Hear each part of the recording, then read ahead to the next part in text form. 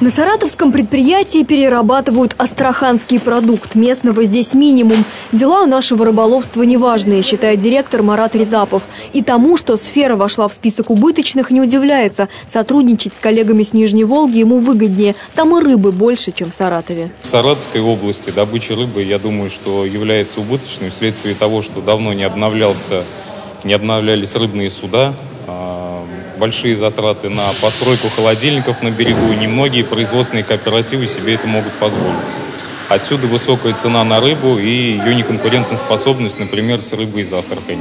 По данным Саратовстата, больше всего убыточных предприятий оказалось, как ни странно, и в сфере нефтяного бизнеса. Работа с черным золотом, говорят экономисты, уже не так привлекает предпринимателей. Высокие акцизы – большие риски. На саратовском заводе к данным статистиков отнеслись настороженно и о своих делах говорят формально. Во-первых, нам нужно в письменном виде запрос вот. Э, откуда эта статистика, кто вам дал, откуда прям вы, э, должен, должно быть написано.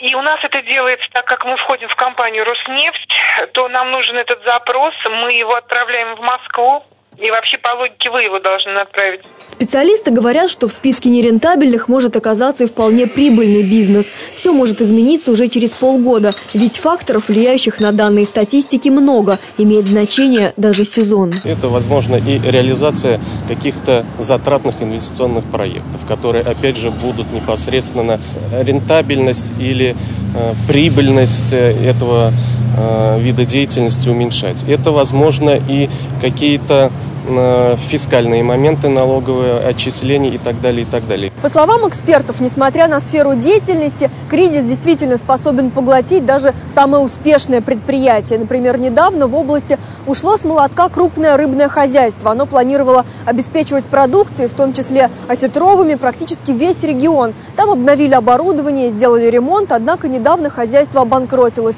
Более того, его продали в 27 раз дешевле номинальной стоимости. Кристина Трушина, Александр Кравченко. Новости телеобъектив.